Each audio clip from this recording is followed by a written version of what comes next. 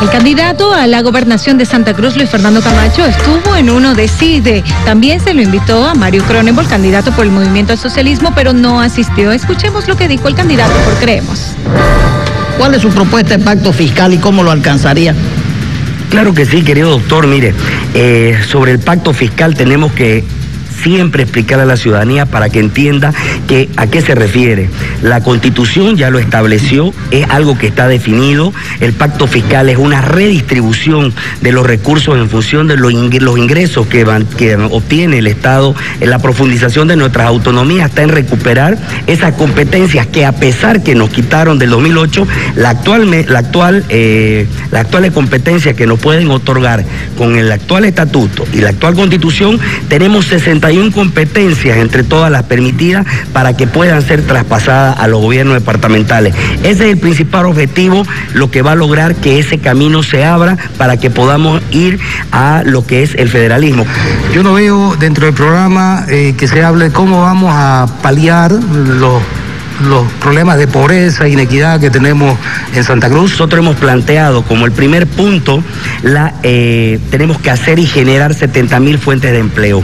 Esas fuentes de empleo de manera directa van a permitir en coordinación con los gobiernos municipales que sean obras pequeñas y que estén direccionadas a aquellas personas que de verdad han sido golpeadas con esta crisis, han perdido su trabajo y esa labor de un gobernador que tiene que velar por el interés de su pueblo. ¿Qué plan tienen? ¿Qué consiste su plan contra la lucha eh, contra el COVID? Hoy por hoy nosotros planteamos en un inicio la vacunación, lo mantenemos, hasta el 24 de septiembre vamos a realizar la vacunación de todo el pueblo cruceño. En una palabra, es este sector que tiene que ver con unas imágenes que vamos a ir mostrándole al candidato y él en una palabra va a definir. Santa Cruz. Tierra hermosa. Comité Pro Santa Cruz. La institución más noble que tiene nuestro pueblo. Autonomía el mayor logro político y aporte que ha hecho Santa Cruz a Bolivia. Federalismo. La nueva meta que cumplir. Rubén Costas. Gobernador. Mario Cronenbol. Candidato a la gobernación. Evo Morales. Un cobarde que busca justificar una renuncia con un golpe de Estado. Las pititas. La unión más hermosa que ha tenido este pueblo en la historia de una revolución democrática, legal y rebelde de un pueblo. 21F. Fecha del inicio de la esperanza.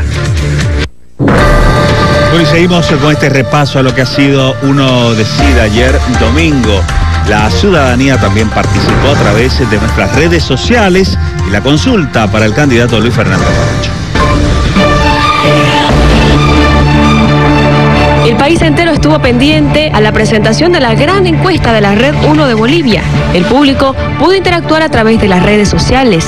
Además, contamos con la presencia de Luis Fernando Camacho, candidato a la gobernación cruceña, y el público que seguía la transmisión en vivo a través de la fanpage de la Red 1 pudo realizarle consultas al candidato. Goti Salinas dice, ¿qué opina usted de la violencia contra las mujeres?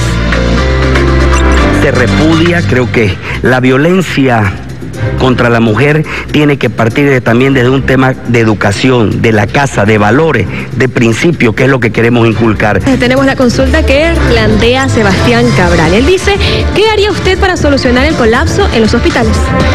Nosotros hemos planteado claramente lo que es la Santa Cruz 4.0. Para eso proyectamos nosotros una Santa Cruz, una ciudad de, de la tecnología y de la digitalización de los servicios.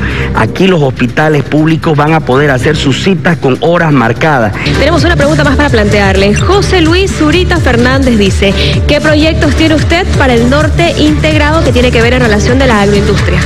Con tecnología, con proyectos, con ayuda al agropecuario, al productor agropecuario, con una oficina de atención y de colaboración para que tengan una eh, constante eh, información y apoyo, especialmente a los pequeños y medianos productores.